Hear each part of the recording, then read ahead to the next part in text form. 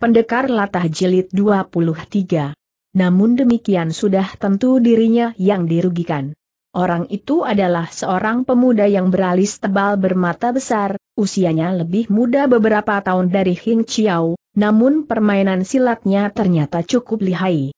Jari Hing Chiao sudah berhasil pada sasarannya, sayang tenaganya kurang memadai pemuda itu meronta sekuat tenaga lagi, sehingga dia tertolak mundur sempoyongan dua langkah lebar. Kejadian berlangsung teramat cepat, pemuda itu sudah menubruk pula seraya membentak, robohlah. Tok telak sekali pukulannya mengenai Hing Chiao. Hing Chiao sudah berhasil meyakinkan Taiyan Patse. Meski keadaannya sekarang tidak memadai tujuh bagian. Keadaan normal biasanya, Kekuatannya masih luar biasa, karena pukulan ini dia cuma tergeliat dua kali, namun tidak roboh. Melihat permainan silat Hing Chiao cukup terlatih dan lihai terkena pukulan tidak roboh lagi, pemuda itu pun amat kaget, tanpa ayal sebelum Hing Chiao sempat berdiri tegak, kakinya menggeser maju tangan membarengi menyerang pula dengan jurus Siakoat Tempian, menggantung miring cambuk tunggal, telapak tangannya menambah surat nadi Hing Chiao. Lekas Hing Chiao membalas dengan jurus Hing Biao Kian Soat, angin badai menggulung salju, badannya bergoyang gontai pergi datang seperti pohon yang melambai tertiup angin, serasi benar dengan permainan pukulan tangannya, pinggir telapak tangan si pemuda setengah dim hampir mengenai urat nadinya, maka terdengar keras lengan bajunya malah yang tercomot sobek sebagian oleh Hing Chiao. Masih untung Hing Chiao menaruh belas kasihan dan tak bermaksud jahat kepadanya, kalau tidak seluruh lengan pemuda ini pasti sudah tertelikung atau keslow. Namun pemuda ini cukup bandel dan garang, sedikit dirugikan, serangannya semakin galak, tanpa mundur dia malah merubah telapak tangan menjadi kepalan dengan jurus Sin Bak Hao, melintang badan memukul harimau, sikutnya menyodok ke lambung Hing Chiao, Gerak-gerik Hing Chiao tidak lincah lagi, kembali dia kena kesodok dan ketumbuk, serangan kali ini lebih keras dari pukulan tadi, saking kesakitan pandangan Hing Chiao sampai berkunang. Di bawah serangan gencar lawan, Hing Chiao tidak sempat memberi penjelasan, terpaksa dia pun nekat, segera dia kerahkan tenaga pada telapak tangannya, kontan dia balas dengan sejurus permainan dari Taiyan Patsok, belang empat telapak tangan saling beradu, meski luakang pemuda ini cukup tangguh masakah dia kuat bertahan dari Tayan Sin Kang ilmu tunggal keluarga siang yang hebat iru, beluk kontan dia terpental dan jatuh terjengkang. Setelah melontarkan sejurus ini, seketika Hing Chiao pun merasa badannya enteng seperti kosong, waktu dia hendak memburu maju menarik bangun si pemuda, tiba didengarnya sebuah suara perempuan tua yang serak membentak, kau bocah ini berani melukai anakku. Datang suaranya, tiba pula orangnya, tahu segulung angin tajam yang menyesakkan napas sudah menerpa datang, hanya mendengar deru angin ini Hing Chiao sudah tahu lalu wekang orang yang satu ini amat tinggi, jauh lebih tinggi dari kemampuan normal darinya, seketika mencelos dingin hati Hing Chiao, namun bagi setiap insan persilatan, berjaga dari serangan musuh adalah merupakan reaksi secara refleks belaka, maka walau Hing Chiao insaf dirinya bukan tandingan, terpaksa dia pun melawan untuk membela diri. Di saat gawat yang menentukan mati hidup jiwanya itulah, tiba terdengar jeritan seorang gadis yang melengking, Bu, kasihanilah dia, dia adalah. Suaranya panik dan menusuk pendengaran, agaknya teramat kaget dan khawatir sekali.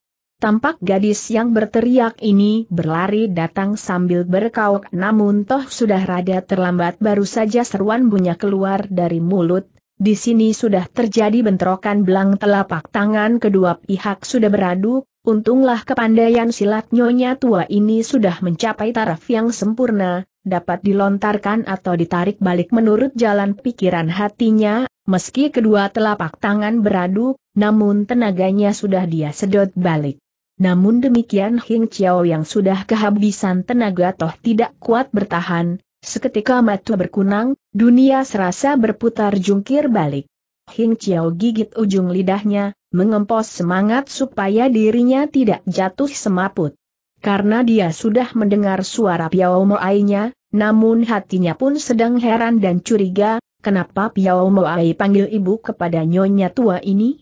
Apakah dia gadis lain yang suaranya mirip saja sebelum dirinya jatuh pingsan ingin dia membuktikan dengan mata kepalanya sendiri? Siapakah dia tanya nyonya tua itu? Dia, dia adalah Piao Koku, sahut gadis itu. Waktu Hing Chiao angkat kepala dilihatnya gadis itu sudah berlari datang menerobos rumpun kembang, kini sudah dilihatnya dengan jelas memang Chin Longer Yok Seng Piao Moai adanya, seruling itu pun masih berada di tangannya. Dengan lincah pemuda itu segera melompat bangun, teriaknya, apa, dia ini Piao Komu. Semula kukira dia musuh. Nyonya tua itu menghela napas lega, katanya, Feng Ji, kau tidak terluka. Bersamaan waktunya Chin Longer Yok pun sedang bertanya, Piao Ko, apa kau terluka? Sungguh kejut dan girang Hing Chiao bukan main, perasaan hatinya bagai gelombang samudra yang mengalun turun naik, entah apa yang sedang terpikir dalam benaknya, mulutnya hanya bisa memanggil Priau Moai, tak matanya jadi gelap terus jatuh semaput. Dalam keadaan setengah sadar, tiba didengarnya sebuah suara kasar berkata, Nah, sudah Sioman. Kau tidak perlu khawatir lagi, kalau tidak dosaku terlalu besar jelas suaranya membawa rasa jelus dan dongkol. Fengko, Chin Longer Yok berkata, kejadian secara kebetulan saja, aku tidak salahkan kau. Kau tidak perlu banyak hati, mulut bicara kepada si pemuda, sementara kedua tangannya memapah Hing Chiao, jelas perhatiannya tertuju kepada Hing Chiao. Pelan Hing Chiao membuka mata, Chin Longer Yok berseru girang, syukurlah, ternyata kau sudah siuman Piaoko, coba kau lihat siapa yang berada di hadapanmu dia ingin jajal apakah Piaokonya benar sudah siuman dan sadar. Waktu Hing Chiao pentang mata, didapati dirinya rebah di atas ranjang dalam sebuah kamar yang dipasang serba antik. Kecuali Piao Moai, pemuda nyonya tua itu pun hadir. Piao Moai, kata Hing Chiao kemudian, kau bikin aku amat rindu sekali, karena mendengar tiupan serulingmu maka aku memberanikan diri menerobos kemari. Cai He Hing Chiao, siapakah aku ini, harap suka maafkan kesembronoanku barusan. Melihat sikap mesra Hing Chiao terhadap Priau Moainya, si pemuda lebih kurang senang sahutnya dingin, aku Shibing. Bernama Feng, KHMG aku berkepandaian tinggi, aku betul kagum, Selanjutnya aku masih ingin mohon petunjukmu. Hing Chiao merasakan gejala yang kurang benar, di saat dia melongot, nyonya tua itu sedang menatapnya, katanya, apakah kau murid atau cucu muridnya Siang Kian Tian? Kembali King Chiao melengak, segera menjawab, bukan, kalau bukan dari mana kau bisa mempelajari Taiyan Pet? Se dari keluarga mereka? Merah muka Hing Chiao, sahutnya, tanpa sengaja aku berhasil mempelajari dari seorang teman yang mengajak jajal kepandaian. Semula aku sendiri pun tidak tahu bahwa Taiyan Pats ini adalah ilmu tunggal dari keluarga Siang. Sudah tentu nyonya tua atau nenek ini tidak mau percaya katanya tawar, Taiyan Pats merupakan ilmu tunggal yang tiada taranya dari Bulim, ajaran rahasia yang tidak diturunkan kepada sembarang orang dari keluarga Siang. Temanmu itu luhur jiwa dan bacik benar mau menurunkan lewekang tingkat tinggi ini kepadamu. Temanmu itu laki atau perempuan, siapa pula namanya? Apa benar kau tidak punya hubungan apa dengan keluarga Siang? Di hadapan Seng Piao Mai sudah tentu Hing Chiao tidak enak menjelaskan hubungannya dengan Siang Cheng Hang yang menipnya melatih ilmu tunggalnya ini di dalam penjara dulu, dasar lugu dia kurang pintar bicara, mulut sudah terbuka namun tak tahu apa yang harus dia katakan.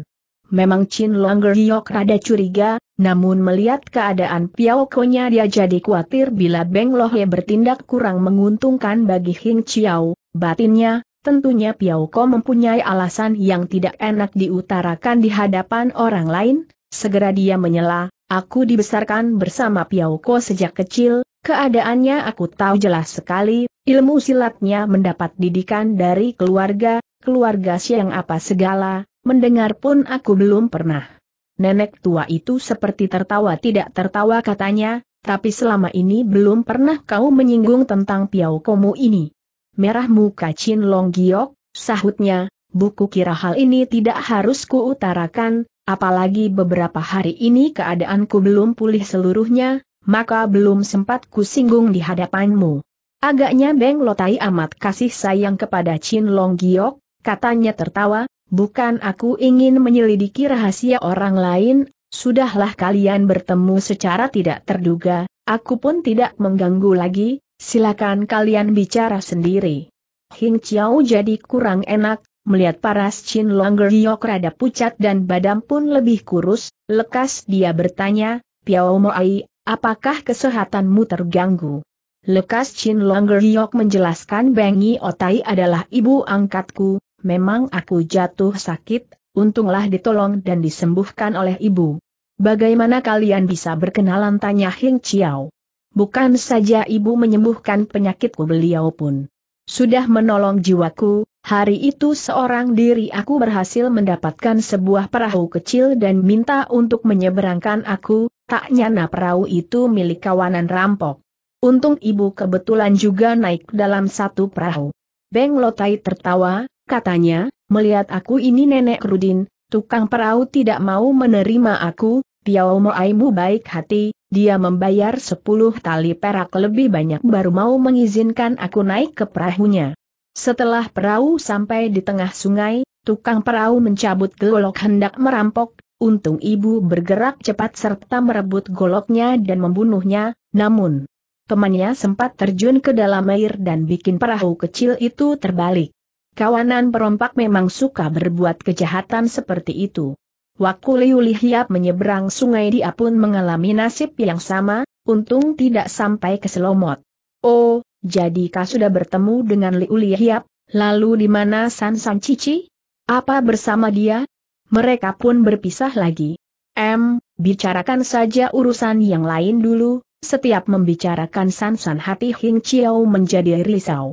Agaknya Beng Lotai amat memperhatikan percakapan ini, tiba dia bertanya, Nona Sansan itu apakah Sujiok? Benar, Bu, kau kenal Nona Giok itu. Kalau benar Giok Sansan, dia adalah putri seorang sahabat lamaku waktu masih kecil dulu, aku pernah melihatnya. Ayah Sansan di masa hidupnya adalah seorang piausu yang kenamaan, hubungannya luas, tidak perlu dibuat heran kalau kenal baik dengan suami Beng Lotai waktu masih hidup.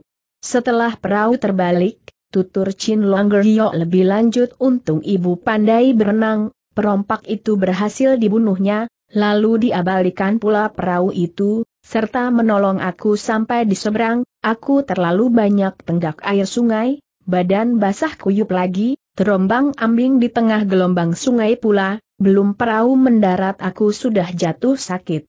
Belakangan aku menetap di rumah ibu, untunglah beliau merawatku dengan telaten, hari ini baru kesehatanku rada baikan. Lekas Hing Chiao ucapkan terima kasih kepada Beng Lotai. Beng Lotai berkata tawar, aku tidak menanam budi kepadamu buat apa kau berterima kasih kepadaku? Yang ku tolong adalah putri angkatku Long Giok, kau punya berapa piauku? Chin Longer Giok melengak, sahutnya hanya Piauko ini seorang. Bu, kau ini.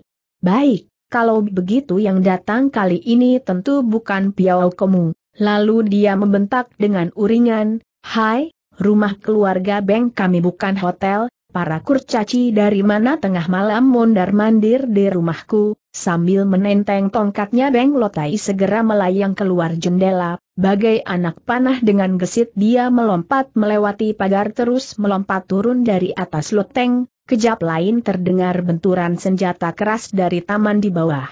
Dalam sekejap mata benturan senjata yang bersuara nyaring terus berlangsung amat ramai, sampai kuping terasa pekak, tongkat Beng Lotai berat 48 kati, dari suara benturan nyaring ini, senjata lawan agaknya juga senjata yang terbuat dari logam berat, maka suaranya rada aneh dan lebih nyaring dari lonceng, namun setiap benturannya terasa amat berat pula. Bing Feng berdiri dan memasang kuping, dari benturan kedua senjata itu dia sudah tahu bahwa ibunya unggul di atas angin, sementara matanya tetap mengawasi gerak-gerik Chin Longer Yok dan Hing Chiao secara diam. Ternyata dia kurang tentram meninggalkan Chin Longer Yok berduaan dengan Hing Chiao di dalam kamar, kedua kakinya seperti terpaku di tempatnya. Hing Chiao pun sedang pasang kuping, tiba dia berjingkat bangun. Chin Longer Yok lekas menahannya, tak menjadi soal, tongkat ibu pernah malang melintang di daerah utara dan selatan sungai besar. Ada yang tidak beres, biar aku keluar menengoknya, Kuatir badan orang masih belum kuat lekas Chin Longer Yok bantu memayangnya. Tak usah kau papah, aku bisa berjalan, kata Hing Chiao. Serasa dikelihati Bing Feng, selanya, Piao Moai telatan meladeni Piao Ko, Hing Toako, kau harus terima maksud baiknya, merah muka Chin Long Giok, lekas dia lepas tangan. Sementara suara benturan senjata di bawah taman sana semakin gencar, serasa leteng ini pun bergetar saking keras daya benturan kedua senjata itu. Bing Feng kaget, dia mendengar lawan merangsak lebih gencar, sekarang ibunya hanya bertahan diri, tanpa sempat mengolok Hing Chiao segera dia memburu keluar lebih dulu, berdiri berpegangan pagar dia menonton pertempuran di bawah dari atas loteng. Tampak lawan ibunya adalah seorang laki berusia lima puluhan dengan jambang bauk yang lebat, kedua tangannya masing bersenjata dua macam gaman yang berlainan, tangan kanan memegang gelang baja yang kemilau, tangan kiri bersenjata golok pendek, jurus permainan kombinasi dua alat senjata ini amat aneh dan lucu, namun lihai luar biasa, goyok pendek seperti lidah ular selalu menyelonong keluar dari lingkaran gelang baja menyerang musuh. Setiap kali tongkat Beng Lotai membentur gelang baja lawan lantas mengeluarkan suara aneh yang memekakkan telinga, agaknya tongkat Beng Lotai yang berat itu tak berhasil mengatasi permainan gelang baja lawan, paling hanya setanding saja, namun dia dibuat sibuk juga oleh permainan golok pendek lawan. Begitu keluar Hing Chiao lantas berteriak, Set aku, berhenti. Ternyata orang ini adalah Set Lo Toa, yang berkepandaian paling tinggi di antara tiga saudaranya, soalnya Sin Gicik menunggu Hing Chiao tidak kunjung pulang, maka segera dia minta Set Lotoa kemari mencari tahu. Meski Hing Chiao berteriak keras, namun suara benturan tongkat dan gelang itu lebih keras pula, Set Lotoa agaknya tidak mendengar seruannya, maka pertempuran terus berlangsung, Keruan gelisah Hing Chiao bukan main tanpa banyak pikir segera dia menekan pagar terus lompat ke bawah. Chin Longer Yok berdiri di sampingnya, keruan kagetnya bukan main, sambil berteriak lekas dia pun ikut lompat ke bawah dia khawatir akan kesehatan Hing Chiao, tak nyana diri sendiri justru baru sembuh dari sakit, tenaga masih lemah, begitu kaki menyentuh tanah seketika badan bergetar, kepala pusing pandangan gelap, belum sempat dia memayang Hing Chiao, dia sendiri yang sempoyongan hendak jatuh malah. Bing Feng juga kaget, lekas dia pun lompat turun hendak menolong, untunglah Hing Chiao punya dasar Taiyan Patso kondisinya malah lebih kuat, lekas dia memburu selangkah dan kebetulan berhasil menarik Piao Moainya serta memeluknya kencang. Beng Feng sedang memburu datang hendak memayang Chin Longer Yok dengan kedua tangan sudah terulur keluar, Sayang dia terlambat setindak, Chin Longer Yok sudah jatuh ke dalam pelukan Hing Chiao, keruan kikuk dan risi perasaan hatinya. Baru saja Hing Chiao hendak memburu ke sana memberi penjelasan untuk menghentikan pertempuran terdengar belang, tongkat Beng Lotai menyapu roboh sebuah batu besar sampai pecah berantakan. Set Lotoa berseru memuji, bagus benar jurus Humotio Hoat, Sebetulnya Set Lotoa mendapat kesempatan untuk mengepalkan gelang bajanya di saat Beng Lotai belum sempat menarik balik tongkatnya, tapi Set Lotoa hanya angkat gelang senjatanya di atas kepala tak bergerak lagi. Beng Lohai gusar, makinya, siapa suruh kau mengalah? Sambut seranganku. Set Lotoa mundur setapak lebar, tiba dia berteriak, berhenti dulu, apa kau ini bukan bini Bengtin? Beng Lotai melengak, tanyanya, siapa kau? Set Lotoa terbahak, katanya sambil mengacungkan gelang baja, tidak banyak orang yang menggunakan gaman seperti ini di Bulim, masakah Beng Toako tidak pernah menyinggung tentang kami bersaudara? Nol jadi kau ini Lotoa atau Loji dari set si Sam seru Beng Lotai, baru sekarang dia teringat. Aku inilah set Lotoa, set Keng, hehe, malam ini aku belasakan kemari, tak kira kesamplok dengan Toa So, mana Beng Toako, ada di rumah tidak? Almarhum suamiku sudah dua tahun yang lalu wafat beruntung kalian bersaudara pernah membantunya waktu di Cengciu dulu kebetulan hari ini aku bisa berterima kasih kepadamu. Silakan duduk di dalam, ingin aku tahu, kalau kau tidak tahu ini rumahku, untuk apa kau malam berkunjung kemari? Saat mana Hing Chiao dan Chin Longer Yok sudah tampil ke depan, kata Set Lotoa tertawa, ternyata Hing Kongcu memang di sini. Beng Socu, aku mencari Hing Kongcu ini. Lo Hing Kongcu apa kau juga sudah kenal dengan keluarga Beng? Aku pun sembrono masuk kemari, kebetulan bersuah dengan Piao Moai, sahut Hing Chiao. Piao Moai mu tanya Set Lotoa heran. Piao Moai ku adalah anak angkat Beng Lotai. Ayahnya Sip Hun Kiam Chin Jiong adalah pamanku. Set Lotoa baru paham persoalannya katanya tertawa, ah, sungguh amat kebetulan. Beng Lotai menyilakan Set Lotoa ke dalam rumah, disuguh air teh dan ngobrol panjang lebar mengenai pengalaman hidup masing selama ini jantung Hing Chiao berdebar, akhirnya dia memberanikan Idri menimbrung bicara. Beng Lotai, banyak terima kasih selama ini kau merawat Piao Moai. Dia sudah tak punya sanak tak punya kadang, aku ingin mengajaknya pergi ke Kiangim. Maksudmu besok juga kau mengajaknya pergi? Ya, pada zaman tidak aman ini, seperjalanan bisa saling tolong. Apa kau tidak tahu Piau Moaimu baru saja sembuh dan badan masih lemah? Kiangim hanya 200 li dari sini, sehari sudah bisa kita capai kurasa Piau Moai masih kuat bertahan sehari saja dalam perjalanan naik kuda. Dari penuturan set Loto tadi Beng Lotai sudah tahu mereka seperjalanan dengan Sin Gicik yang sudah dikenal namanya itu, tanyanya, apa Sin Gicik ada memboyong keluarganya? Tidak. Seorang perempuan tercampur dalam pasukan, kukira tidak leluasa, lebih baik kalau dia tinggal di sini, aku bisa mengasuh dan merawatnya. Aku kan ibu angkatnya, masakah kau bilang dia tidak bersana kadang di sini? Agaknya otak Set Lotoa cukup cerdik, melihat Hing Chiao ngotot serta melihat hubungan dan sikap mesra antara Hing Chiao dan Chin Long Giok, dia sudah paham duduk persoalannya, segera dia menimbrung, Sin Chiang Kun sendiri tidak membawa keluarga, tapi di Kiangin banyak perwira tinggi yang menetap di asrama dan membawa keluarga dan pembantu Nona Cinta usah khawatir kesepian di sana. Dan lagi Nona Chin pandai silat, masakah dia tidak bisa mengurus diri sendiri? Lebih baik kita tanya bagaimana maksud Nona Cirin sendiri menurut pendapatku urusan muda-mudi biarlah diputuskan mereka sendiri. Dari belakang Bang Feng segera menyela, Bu, buat apa banyak ngomong, mereka toh Piao Ko dan Piao Moai, sudah tentu hubungan famili lebih dekat. Kau paling hanya ibu angkat, betapapun setingkat lebih jauh. Berkaca matu Chin Long Giok, Katanya, Beng Toako jangan kau berkata demikian, ibu menolong jiwaku, menyembuhkan penyakitku lagi, betapa besar terima kasihku tapi aku, aku. Nah, bagaimana menurut maksudmu sendiri ingin tinggal bersama ibu atau mau ikut piaukomu?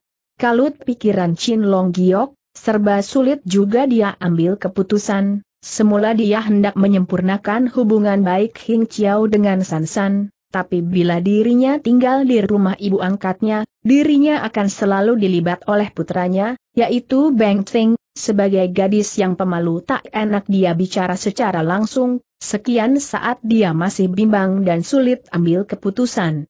Di saat semua orang sedang menunggu jawaban Chin Long Giok, tiba terdengar tiga kali suitan tinggi dari tiga batang panah yang dibidikan ke tengah angkasa dua pendek satu panjang, Mendengar suara panah berbunyi ini, seketika berubah air muka Beng Lotai.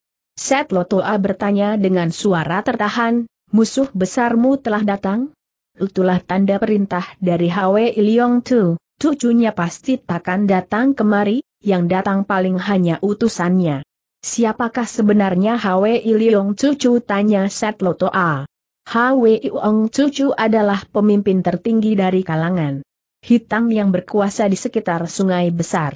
Baru dua tahun, belakangan ini berdiri pangkalan mereka di sana, tak heran kau tidak mengetahuinya.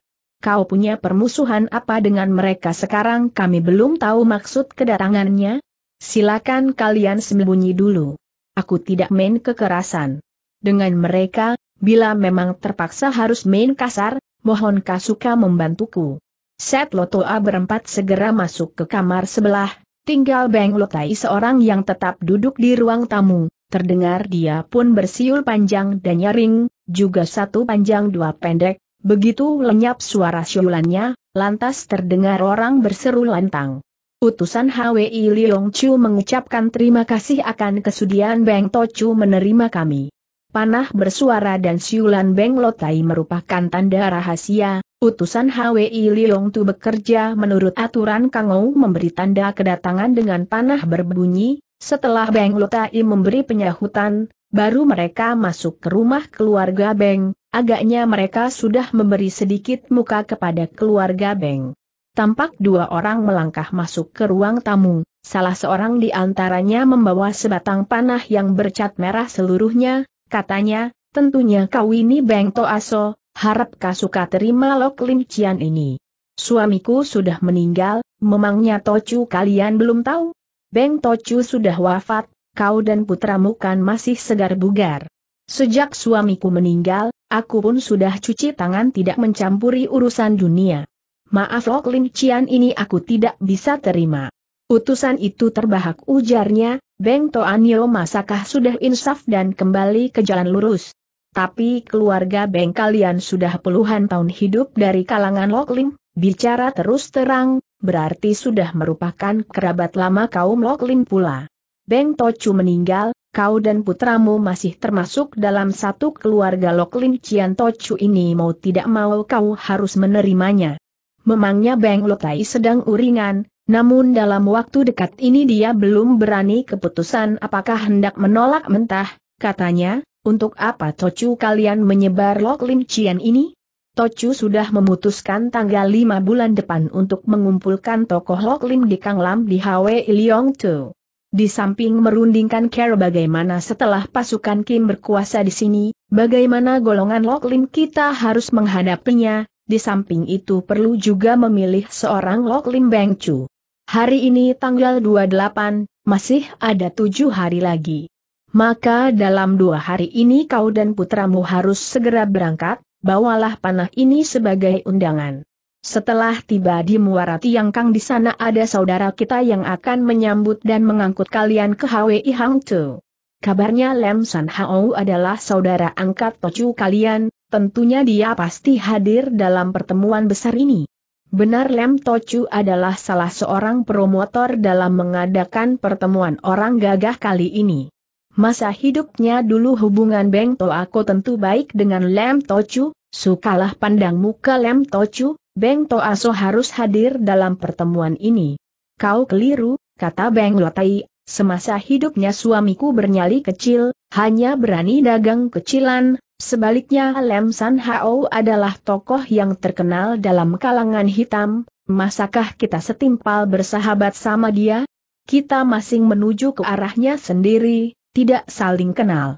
Utusan itu melengak, katanya, apa? Jadi kalian tidak saling kenal? Memangnya untuk apa pula Beng Toaso menanyakan hal ini?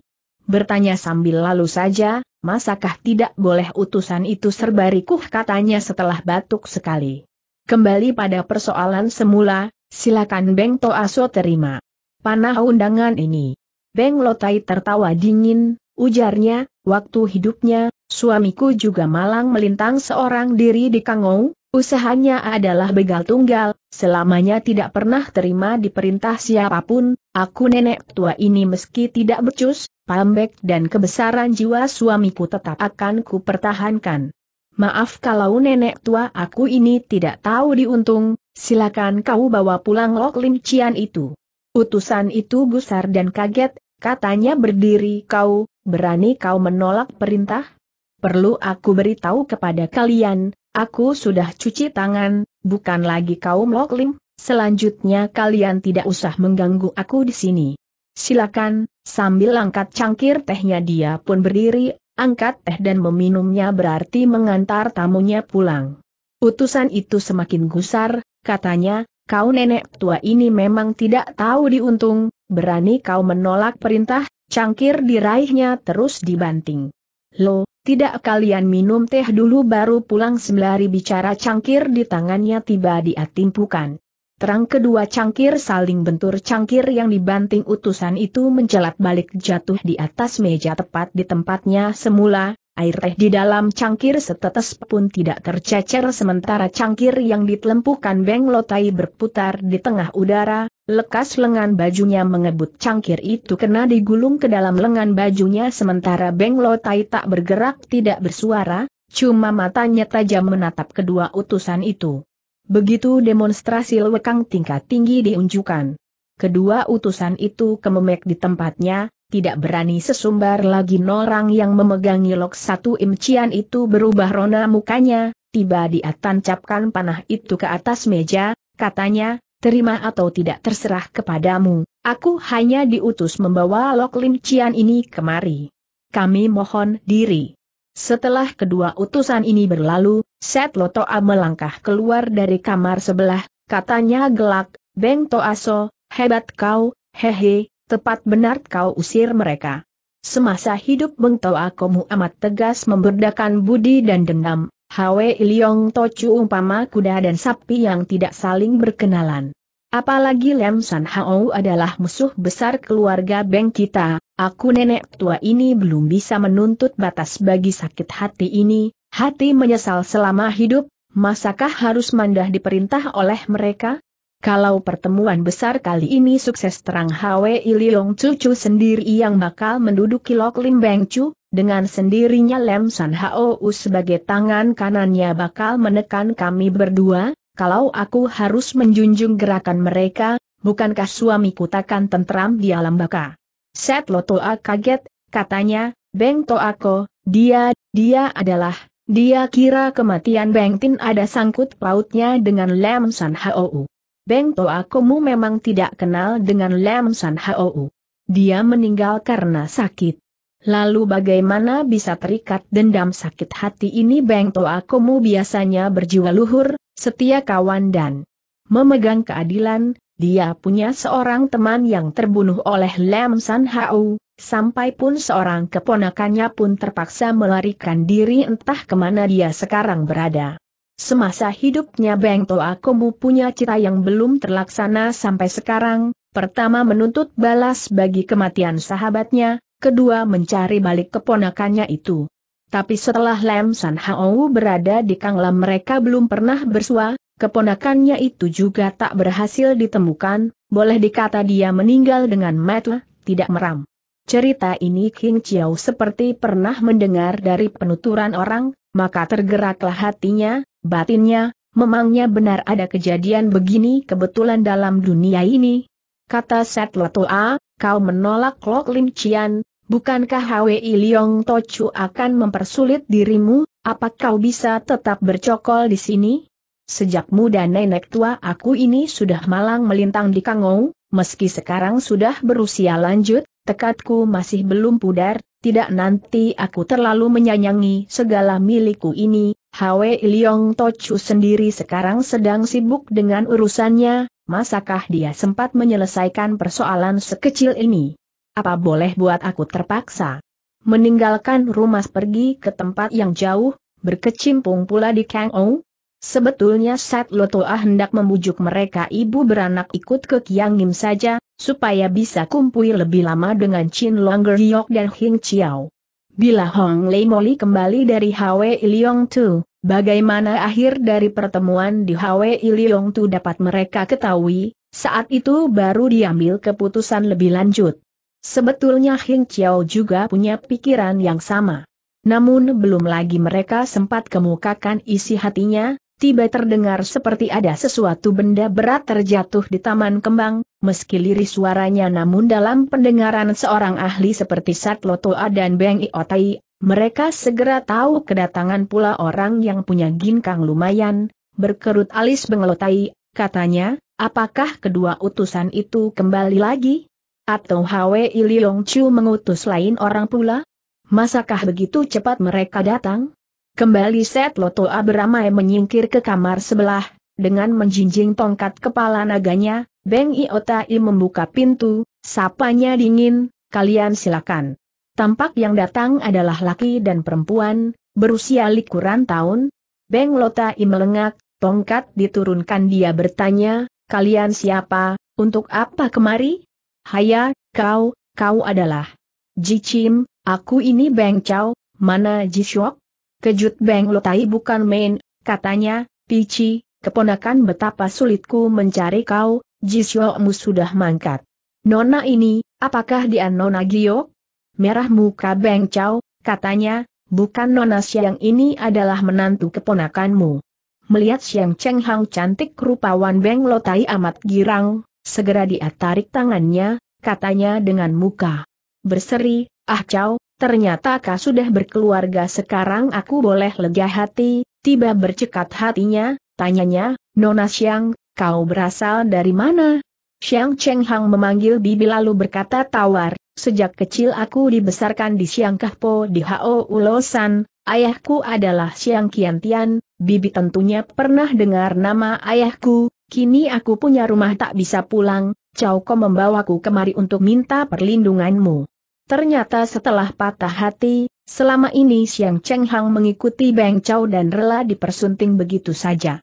Namun sebagai putri dari seorang tokoh besar merendahkan derajat menikah dengan Beng Chao, betapapun hatinya merasa direndahkan, begitu bertemu Beng Lotai justru menyinggung Nona Gio lagi, sudah tentu dia lebih kurang senang. Sudah tentu Siang Cheng Hang tidak tahu apa alasan Beng Lotai menyinggung Nona Giok, Maksudnya San San, sekarang perlu kami jelaskan di sini bahwa ayah Beng Chow dan ayah Giok San San adalah satu kolega yang bekerja dalam satu piau kiok. Hubungan mereka amat intim, setelah usia menanjak tua sama mengundurkan diri, akhirnya mereka menetap bertetangga. Waktu itu Beng Chow dan San San masih kecil, namun sana kadang dari kedua keluarga sudah anggap kelak mereka bakal menjadi suami istri. Beng dan Giok sama punya maksud lagi, soalnya mereka masih kecil maka kedua orang tua ini belum mengikatnya secara resmi. Ayah Beng Chow adalah kakak sepupu suami Beng Lotai, namun haluan hidup kedua saudara ini berlainan, yang satu jadi Piau Suseng adik menjadi begal besar. Satu di utara yang lain di selatan, selama puluhan tahun jarang mereka bertemu, Kira 14 tahun yang lalu mereka bertemu yang terakhir kali, tak lama kemudian engkau. Beng Tin atau ayah Beng Chow pun meninggal, dua tahun kemudian Giok Lo Tau, ayah Giok San San, juga mengalami bencana dan terbunuh. Dalam pertemuan terakhir Beng Tim pergi bersama istrinya, maka mereka pun ada bertemu dengan Giok San San. Semula Lem San Hao adalah begal besar yang malang melintang di daerah utara, suatu ketika dia merampas barang kawalan Beng dan Giok, meski dia berhasil namun Lem San Hao juga tersambit sebatang senjata rahasia. Setelah Beng dan Giok pensiun, Lem San Hao masih tidak melupakan sakit hatinya, dia meluruk ke desa di mana Giok Lot tahu mengasingkan diri waktu itu ayah Beng Chow sudah meninggal tapi rumahnya ikut terbakar habis. Oleh karena itu terpaksa Beng Chow menjadi gelandangan Kangou, belakangan diterima di Siang Po menjadi pembantu rumah tangga sebaliknya khawatir kerabat Piao Hang sama menuntut balas kepadanya, Lam San Hao lantas lari ke Kang Lam, tetap melakukan usaha gelapnya. Dalam pada itu setelah mengetahui asal-usul Siang Cheng Hong, Sungguh girang dan kaget benar, mimpi pun Beng Lotai tidak pernah membayangkan bahwa keponakannya bakal mempersunting putri Siang Kiantian yang begitu tenar dan berwibawa di kalangan Kengou dengan Siang Kahponya yang jaya pula. Dia pun heran mendengar Siang Cheng Hang bilang punya rumah tak bisa pulang, saking kesenangan dan keheranan pula, mulutnya sudah terbuka, namun tak kuasa melanjutkan katanya lagi, soalnya nama Siang Kahpo memang terlalu besar, betapapun hatinya amat di luar dugaan. Kong Sun Ki membunuh cicingnya dan merebut kekuasaan di Siang Kahpo, terpaksa aku bawa dia lari kemari, bibit tidak. Usah khawatir, Beng Chow tidak mengatakan apa yang sebenarnya. Beng Lotai kejut girang, batinnya, Tici menikah dengan putri gembong iblis, entah akan membawa rejeki atau bencana. Apa pun yang akan terjadi, peristiwa ini merupakan kejadian yang mengangkat gengsi keluarga Beng kita, rasa bangga mengatasi rasa khawatiran dan ketakutan, setelah tenangkan diri Beng Lotai segera berteriak. Fengji, keluarlah menemui engkau dan ensomu. Nona Chin, kau adalah putri angkatku, silakan keluar untuk berkenalan haha, Set Loto A, Hing Siang Kong, semua harap keluar, keluar, keluarga nenek tua malam ini kumpul kembali, kalian harus ikut merayakan minum sepuasnya. Jantung Hing Chiao berdetak keras, sudah tentu dia tidak habis mengerti kenapa Siang Cheng Hang menikah dengan Beng Chao. Tapi itu lebih baik daripada dia tertipu oleh Kong Sun Ki, namun dia harus keluar menemuinya tidak. Sulit dia berkeputusan, karena ragu kakinya jadi berat untuk keluar. Melihat mukanya pucat dan badannya limbung Chin Longer Yok amat kaget. Dikiranya kondisi badan Hing Chiao memang lemah setelah mengalami pertempuran tadi, Lekas dia memapahnya, tanyanya lirih, Piaoko, kenapa kau? Mendengar Beng Lotai menyinggung Hing Xiang Kong semula hati Xiang Cheng Hong pun kaget, dilihatnya Hing Chiao sedang maju mundur di ambang pintu, di sampingnya Chin Longer Yok sedang memapahnya, seketika bertaut alisnya, katanya tertawa dingin, Hing Kong Cukau takut melihat aku? Keluar. Sudah tentu ucapan Siang Cheng Hang membuat hadirin kaget Siang Cheng Hang beranjak maju sambil tertawa cekikikan, bagus sekali, sungguh amat kebetulan, Hing Kong Chu dan Nona Giok sama di sini. Beng Lotai terheran, selanya, dia bukan Nona Giok, Nona Chin putri pungutku. Ah, maaf, maaf ujar Siang Cheng Hang berdiri di hadapan mereka sambil mengamati dengan pandangan menghina dan sikap mencemooh. Hing Kong Chu sudah tukar seorang kekasih yang lain, semula kukira Nona Giok San San adanya. Nona Chin, harap kau tidak berkecil hati, agaknya Siang Cheng Hang sengaja hendak mengolok dan menghina Hing Chiao di hadapan umum, sekaligus untuk melampiaskan penasaran hatinya. Berubah air muka Beng Lotai, katanya dengan gemetar, mantu keponakan, kau kenal Hing Kong Chu ini? Apa sih hubungannya dengan keluarga Siang kalian? Tadi dia menggunakan Taiyan Patsok, namun Hing Kong Chu bilang tiada sangkut paut dengan keluarga siang kalian. Tiada sangkut paut? Akulah yang mengajar Taiyan Patsok itu kepadanya.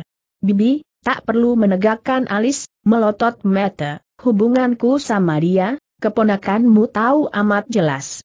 Sejak tahu dia punya nona giok, aku lantas putuskan hubunganku sama dia, keponakanmu tahu akan hal ini baru dia melamar kepadaku, kalau tidak masakah aku bisa jadi menantu keponakanmu? Sudah tentu pengakuan Siang Cheng Hang membuat suasana menjadi runyam, Beng Lotai amat gusar, batinnya, kalau keponakanku kawin sama Nona Giok, keluarga Beng kita tak usah terhina dan membuat aku gusar melulu. Hektometer, semua gara-gara perbuatan bocah Hing ini yang merebut Nona Sansan, sekaligus membuat celaka keponakanku. Di hadapan menantu keponakannya yang baru, orang adalah putri Siang Kian Tian si gembong iblis yang disegani lagi, maka Beng Lotohai tidak berani umbar adatnya meski gusarnya bukan main, maka rasa amarahnya segera dia. Tumplek kepada Hing Chiao, katanya dingin kepada Hing Chiao dengan muka kaku. Hing Kongcu, Yao Moaimu adalah putri pungutku, kau sebaliknya bukan sanak bukan kadang dengan aku, selanjutnya tak usah kau datang ke rumah keluarga Beng kami. Sekilas Hing Chiao melengak, katanya dengan gusar, baik, aku segera berlalu, Piao Moai, kau. Betapa sedih hati Chin Long Giok, katanya dengan gemetar, Bu dalam hal apa Piao Ko berbuat salah terhadapmu martabat dan karakter Piauko cukup ku kenal, dia, sulit juga dia membeber persoalan sebenarnya di hadapan orang hanyak. Agaknya semakin memuncak amarah Beng Lotai, katanya sengit, Nona Chin, kau suka terhadap Piaukomu, aku pun tidak akan menahanmu bila kau hendak ikut dia. Tapi aku demi kebaikanmu, ku harap kau berpikir sebelum bertindak. Xiang Cheng Hang menjengek dingin, dia suka gelandangan yang romantis ini, Bibi, buat apa kau melelahkan lidah membujuk dia? Huaah sekumur darah menyembur keluar dari mulut Chin Long Giok, Hing Chiao gusar, kenapa kalian memaksanya begini rupa? Piao Moai, haturkan terima kasih kepada ibu pungutmu, segera kita berlalu. Melihat Chin Long Giok muntah darah, Beng Lotai rada menyesal, namun untuk menahan gengsi, lahirnya tetap bersikap kaku dingin tanpa bersuara sepatah kata pun. Set Lotoa segera tampil ke depan, Beng Socu, kenapa harus begini? Berilah sedikit kelonggaran, supaya kelak ada kesempatan untuk berkumpul lagi. Set Iotoa, kau pernah menanam budi kepada suamiku, aku berterima kasih kepadamu, tapi urusan keluarga Beng kami tidak suka dicampuri orang luar. Melihat Beng Lotai terlalu berkukuh, apalagi perlu segera kembali ke penginapan, segera Set Lotoa berkata, Socu, kalau demikian, biarlah aku pamitan saja. Hing Chiao menyeka darah yang meleleh di ujung mulut Chin Long Giok, katanya, Piao Moai, masakah bisa kau tetap tinggal di tempat ini? Agaknya Chin Long Giok sudah berketetapan, segera dia sisihkan tangan Hing Chiao, katanya, LBU, banyak terima kasih akan rawatan dan asuhanmu selama setengah bulan ini, budi luhurmu, selama hidupku takkan pernah kulupakan, lalu dia berlutut menyambah kepada Beng Lotai.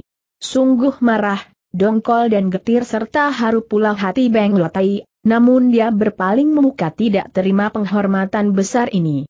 Set Lotoat tiba berkata pula, Beng Socu, bagaimana keputusanmu mengenai Lok Lim Chien ini?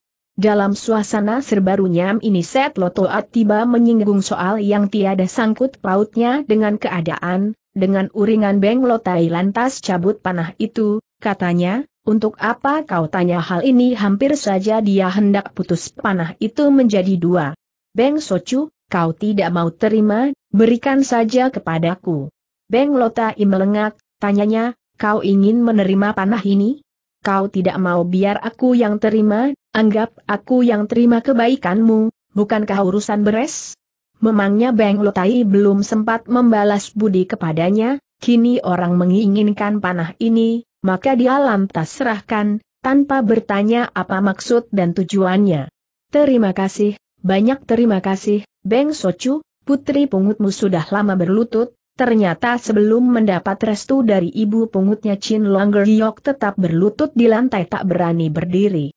Beng Lotai sadar akan sikapnya yang rada keterlaluan. Akhirnya dia menghela napas serta memapah Chin Longer Yok bangun, katanya, Nona Chin, kau sendiri suka menempuh jalan hidupmu, aku pun tak bisa memaksamu, penyakitmu belum sembuh seluruhnya, jagalah dirimu baik. Berkaca matu Chin Long Giok, katanya, LBU, kau pun jagalah dirimu baik. Set Loto agelak, ujarnya, tiada perjamuan yang tak berbubar, nah, hayolah pulang waktu itu hari sudah remang menjelang terang tanah, kuatir Sin Gicik menunggu dengan gelisah, Set Lotoa terburu hendak pulang, maka dia sudah melangkah keluar. Baru saja Hing Chiao hampir keluar dari ruang tamu, Bang Chao tiba mengadang di depannya, tunggu sebentar katanya menyeringai dingin.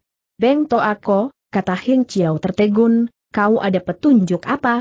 Pada saat itu tiba terdengar suara suitan panjang di luar sana Set Lotoa kaget karena dia kenal itulah suitan adiknya, sebelumnya mereka sudah berjanji bila mengalami sesuatu, gunakan suitan untuk minta bantuan, Set Lotoa segera berkata.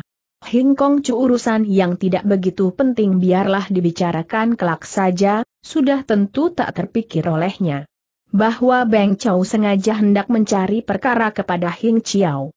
Dengan mengembangkan ginkang set lotoa segera lompat naik ke pagar tembok, dia kira Hing Chiao akan membuntuti di belakangnya, siapa tahu Beng Chow justru tak mau lepas orang pergi. Tidak berani tidak berani, ujar Beng Chow sambil menyilangkan kedua tangan, Beng Chow mohon Hing Kong Chu memberi petunjuk barang satu atau setengah jurus. Buat apa kau cari gara? Maaf aku tak bisa iringi keinginanmu. Cari gara apa? Memangnya kau lupa pernah memukulku sekali di Siang Kekpo dulu? Kebetulan hari ini bersua dan ada kesempatan, masakah kau tidak sudi memberi petunjuk pula kepadaku? Hektometer, mau atau tidak kau harus rasakan dulu kepelanku. Beng aku, anggaplah memang aku yang salah waktu itu, biar aku mengaku kalah dan mohon maaf kepadamu. Aku tidak perlu kau minta maaf. Kau tak usah takut, kami hanya jajal kepandaian saja, sekali pukulan ku balas sekali pukulan pula, aku tidak akan mencabut jiwamu. Pelan kedua telapak tangannya didorong ke depan, ternyata dia bergerak dan menyerang lebih dulu kepada Hing Chiao. Beng To aku terlalu memaksaku Xiao Te terpaksa menurut saja, apa boleh buat Hing Chiao gerakan sebelah telapak tangannya menggaris bundar terus balas menyerang. Sejak menikah dengan Xiang Cheng Hong, Beng Chao sudah berhasil menipu Tai Yan Patsok dan Lwe Kang murni dari kedua ilmu beracun itu, sudah tentu kepandaiannya maju pesat meski latihannya belum lama, namun bicara soal pupuk dasarnya masih kalah kuat dari Hing Chiao. Sayang Hing Chiao sedang terluka, luwekangnya banyak berkurang, maka keadaan mereka sekarang kira berimbang. Belang kedua telapak tangan beradu, Beng Chao tersurut tiga langkah, Hing Chiao hanya tergeliat sedikit Siang Cheng Hang segera memberi petunjuk, atasi kekurangan lawan dengan keahlian sendiri dulu care bagaimana kau dikalahkan, dengan care itu pula kau harus menang sekarang. Dengan menghardik keras Beng Chao menubruk maju pula, kiri kepelan kanan telapak tangan, gerakan tangannya mengeluarkan deru angin keras, tangan kanan menyerang muka, kepelan kiri menggenjot lambung Hing Chao kembangkan Sip Hun PDU Hoat, berkelit sambil balas menyerang, tak kira Beng Chao seperti sudah mengira gerakannya ini, kepelannya hanya menggertak, sekonyong kedua kakinya serempak menendang secara berantai, sasarannya tepat ke arah mana Hing Chiao menyingkir. Sebat sekali Hing Chiao miringkan badan telapak tangan menyisir lutut orang, maka tendangan lawan menyerempet lewat dari samping ketiaknya, meski tidak kena dengan telak rasanya panas pedas juga, pukulan tepak tangan susulan Beng Chao kebetulan bentrok pula dengan telapak tangannya. Kali ini Hing Chiao memukul sambil berkelit, maka kedudukan kakinya kurang kokoh, gilirannya sekarang tersurut tiga tapak, sementara Beng Chow hanya tergeliat saja. Mendapat angin Beng Chow tidak memberi peluang kepada lawannya, serangannya pun tidak kenal kasihan lagi, belum lagi King Chiao berdiri tegak, kembali dia menubruk maju permainan jurus silatnya mendapat petunjuk langsung dari Kong Sun Ki, sekaligus dia kombinasikan Hao Ukun, Kun Tau menaklukkan harimau, dengan Yan Yan Lian Hoan Tui kepalanya memukul ke utara, tahu kakinya menendang ke selatan, bergerak menurut posisi Pat Kuang Go Hing, gerakan tangan dan kaki justru selalu berlawanan, peduli ke mana pun. Hing Chiao menggeser kedudukan, selalu diadi bentur dan dihadang oleh kaki tangan Beng Chao. Berarti setiap jurus permainan Beng Chao selalu mengatasi dirinya lebih dulu. Beluk dalam pertempuran sengit itu tiba Hing Chiao kena sekali hantaman Beng Chao, dengan tertawa congkak Beng Chow mengolok, nah tahu kelihayanku belum? Mengaku kalah tidak? Hing kertak gigi, wut, wut dua kali dia lontarkan pukulan, dengan rasa gusar yang memuncak, meski tenaganya hampir habis, tak urung lawan didesak mundur juga. Chin Longer Giok amat khawatir, teriaknya dengan suara gemetar, Piao Ko kau, biar kau, belum lenyap suaranya, Beng Chow sudah merangsak maju pula. Biang telak sekali kakinya menendang punggung Hing Chiao sampai sempoyongan hampir roboh, kedua biji matanya merah menyala, serangan tendangan berantai Beng Chow kaki kiri tepat mengenai sasaran, tahu kaki kanan sudah menendang tiba pula, Hing Chiao memuntahkan darah segar, tanpa berkelit sekali hantam dia pukul lutut kaki kanan orang, melihat kemenangan di pihaknya, Beng Chow tidak mau main secara kekerasan lagi, dengan cap Pai Lian, ujung kakinya menggaris bundar terus ditarik balik, permainan pukulan Hing Chow memang terlatih baik namun gerak-gerik kakinya kurang tangkas, tabasan telapak tangannya hanya sedikit menyerempet dengkul orang saja, tapi Beng Chow toh rasakan kakinya panas dan sakit. Beng Chow semakin murka, dameratnya, baik, kau bocah ini keras kepala, belar ku hajar kau sampai berlutut. Minta ampun, Segera kaki tangan dia kerjakan bersama, laksana hujan badai mencecar dengan gencar, serangannya jauh lebih ganas dan keji. Chin Longer Yok tawa tak keras piaukonya, betapapun dia takkan mau menyerah kalah, terpaksa dia menahan malu dan terhina memohon kepada Beng Lotai, Beng Toako bilang membalas sekali pukulan, kini dia sudah menghantam dan menendang. Memang Beng Lotai juga merasakan perbuatan Beng Chow rada keterlaluan, namun waktu dia melirik dilihatnya Siang Cheng Hang juga mengunjuk rasa khawatir dan kebingungan terang dia masih punya rasa cinia terhadap Hing Chiao, seketika timbul pula amarahnya. Maka dengan muka membesi kaku dia tidak hiraukan ratapan Chin Long Giok. Mendadak Beng Chow membentak, Hayo kau berlutut dengan sejurus ban klong sia tiao, menarik busur memanah Raja Wali, kedua lengannya terpentang, kedua tangan Hing Chiao sudah terkunci olehnya sehingga tidak bisa membela diri pula, berbareng kakinya lantas menendang lutut Hing Chiao. Dasar berjiwa sempit, karena dengkul sendiri terserempet oleh tabasan tangan Hing Chiao tadi, kini sengaja dia hendak tendang tulang lutut Hing Chiao sampai remuk biar orang berlutut dengan kesakitan. Dengan menjerit kaget dan khawatir, Chin Longer Yok segera lompat maju hendak menarik Hing Chiao, sekonyong terdengar suara seorang perempuan berkata, Hing Siang Kong, jangan kau takut orang ini tidak kenal aturan, biar ku suruh dia menyembah kepadamu. Datang suaranya tiba pula orangnya, maka terdengar bluk yang jatuh berlutut. Ternyata memang Beng Chow, tahu hiatu di dengkulnya kena tertutup oleh gadis yang baru datang ini, tanpa kuasa kontan dia berlutut dan menyembah.